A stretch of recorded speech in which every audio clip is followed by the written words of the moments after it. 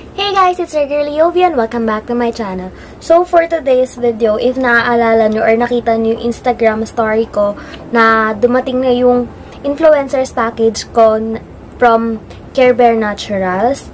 So ayun, gagawan ko na siya ng review after ilang days na tinatry ko isa-isa yung mga velvet cream tints. Yes.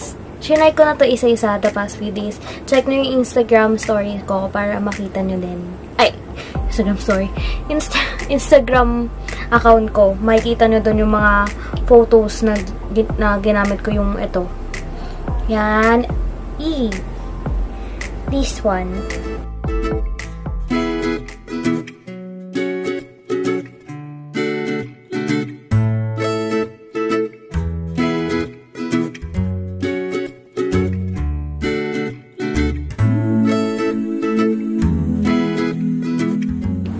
Apat siya na shade, yung uh, Birthday Kiss, Bear Bohemian, Summer Brick, and then yung Bear Blossom. So, ayan. swatch ko siya para makita nyo yung color yung shade. So, unahin natin is itong Birthday Kiss. Wait. Ayan, yung shade niya, yung color niya. Hindi ko alam if malinaw siya or nag-focus.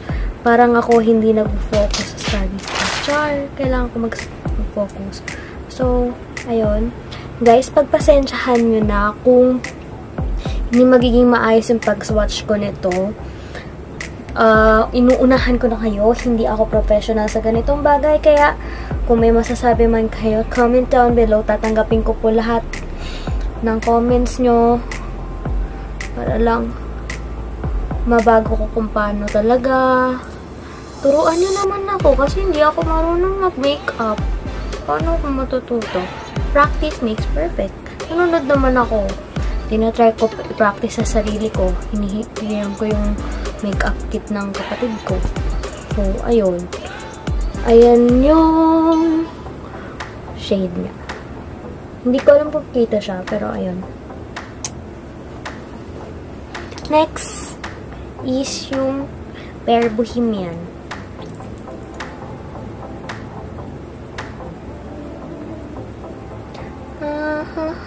Para lang ako nagpe-paint sa kamay ko na hindi ko alam kung anong patutunguhan. Hindi na pantay-pantay. Ano ba yan?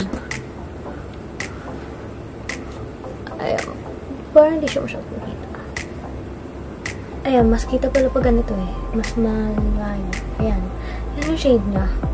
Second two, para siyang color tangerine.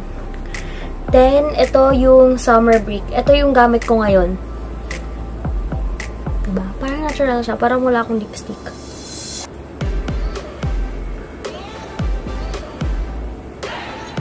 Yeah, yeah, yeah. Matuto ka na kasi, Leobi, para hindi ka na nagpapa-makeup sa kapatid mo. Ayan, nga pala guys, itong makeup ko, ayan, yung sa kilay ko, yun dito, hindi ko masyadong kita sa camera, di ko alam.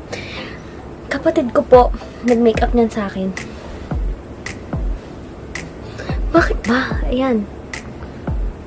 Ayan yung shade niya. Tatlo na, di ba, guys? And then, ito yung last. Yeah. Yung last two na to, ito yung pinaka-favorite ko. Yung Summer Brick at saka yung Bear Blossom. Kasi natural lang siya. Yun yung hilig kong kulay. Ayaw nang masyadong dark. Ayan, guys. Ayan. Ayan yung ano, shades nung Velvet Cream Tints. So, ayan, nakita nyo na yung ano na, yung shade. Ang masasabi ko lang dito, nung na-try ko siya, kasi nung isang beses, nakalimutan ko tanggalin yung lipstick ko. Sis.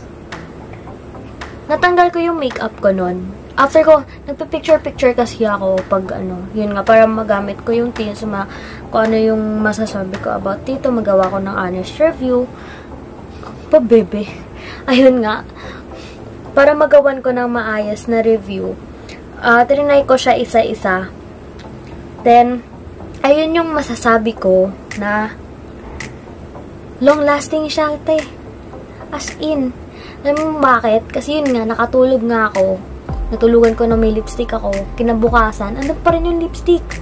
Yung isang beses naman, after ko mag-picture, kakain na ng dinner. So, expected ko matatanggal siya kasi inom ako ng tubig, kakain ako. Hindi, hindi siya natanggal sis. Andun pa din yung lipstick. Tapos, ano, mahilig kasi ako yung, alam mo yung, ano, ginangat-ngat ko yung, ito, yung ganyan ko. Hindi ko alam bakit sa sarili ko. Ano, andun pa rin yung lipstick, ang, ano niya, ang kapit sis. Sa akin yun na, ewan ko sa iba. Yun yung masasabi ko, that's I thought. Tsaka ang ganda ng shade niya, ang ganda na tingnan sa lips. Kahit sabi nga ng mga kaibigan ko, ayun, maganda talaga yung shade niya.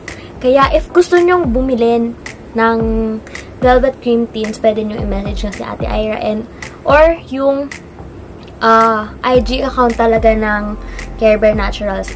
Yun, tingnan nyo na lang sa description box yung Instagram account nila. Then, wait lang. Hindi ko pa nasasabi talaga yung thought ko eh. Ano na naman to sis? Ayan na. Pinaka-thought ko talaga is, ang gaan niya sa lips. Legit. Parang, ano, feeling ko wala akong suot na lipstick. Parang as in natural lang. Na, parang naka-ano lang ako. Bare face. Like, walang, walang makeup na kung ano-ano. Ayan.